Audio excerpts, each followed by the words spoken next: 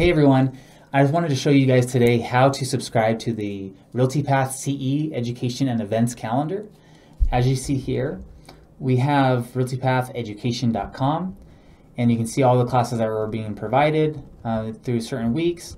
And if you scroll all the way down to the bottom, you'll see subscribe to calendar.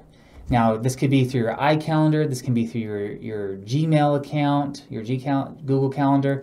This can also be through Office 365. But what you want to do is you want to click right here and you'll have that drop down menu. So I'm going to be showing you guys how to do it through Google or Google Calendar right here. And it's going to take me to my account. Now, this is super important that you guys see right here on the left hand side, the Realty Path is now showing. So it's the bright blue. I can untoggle that to ensure when I want to see it, I'll see it. When I don't, it's gone. So it doesn't clutter your calendar. So now on the top right hand corner though, this is important.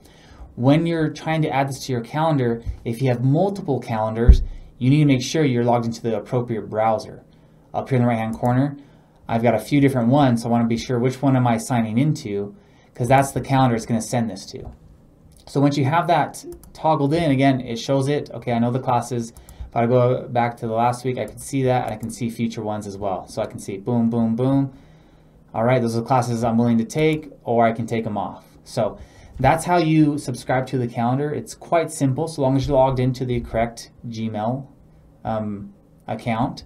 So that way it can coordinate with your Google Calendar. So you can do the same thing with iCloud and Office 365. Um, so you have that uh, available uh, resource so you don't have to log in every single time um, to your RealtyPath library to, or look it up on the browser to see what classes are being offered. So it's a quick resource. Add that to your toolbox and that should help you guys see what's available for classes.